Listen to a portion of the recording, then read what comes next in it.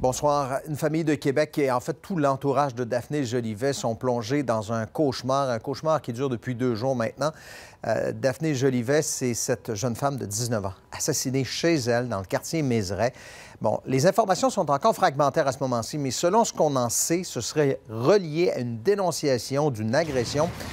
Guylaine Bussière, on vous retrouve dans un instant pour parler de l'onde de choc qui est dans le voisinage, mais d'abord avec vous, euh, Camille. Des informations ont commencé à filtrer sur les circonstances de ce meurtre. Oui, tout à fait. Des informations qui nous proviennent de sources, Bruno. Donc, ce qu'on sait, effectivement, c'est que Daphné Jolivet, 19 ans, a aidé, encouragé euh, une autre jeune femme, donc victime d'agression sexuelle, à dénoncer son agresseur.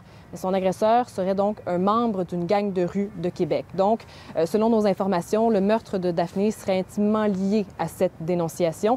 Des informations que ne confirme pas le service de police de la ville de Québec, qui ne va pas même jusqu'à confirmer qu'il y a des membres euh, de gangs criminalisés liés à ce meurtre-là.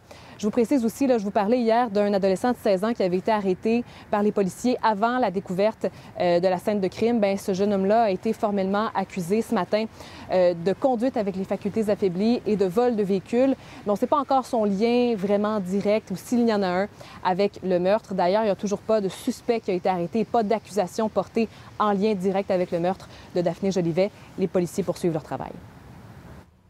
Actuellement, le service de police de Ville de Québec déploie toutes les, toutes les ressources nécessaires pour être en mesure d'identifier le suspect, procéder à son arrestation et le traduire devant les tribunaux.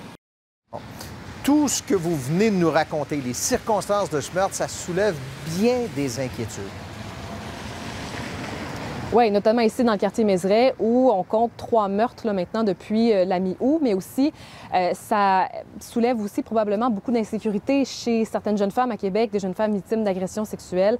Donc j'en ai parlé avec une, intervenante euh, représentante du Centre d'aide aux victimes d'actes criminels, donc les CAVAC, et elle dit qu'elle encourage ces jeunes femmes-là à aller chercher de l'aide, mais à continuer de dénoncer malgré tout.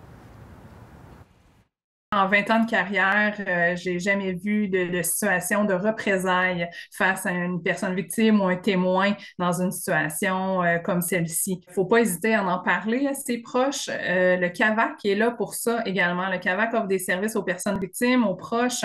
Donc, c'est d'aller consulter, d'aller chercher de l'aide. Bruno, le poste de commandement a quitté euh, donc cet après-midi euh, les lieux du crime. Par contre, les policiers invitent toujours euh, les citoyens qui pourraient avoir des informations en, en, lien avec les événements à les contacter. Oui, il ne faut pas hésiter à le faire. Merci Camille.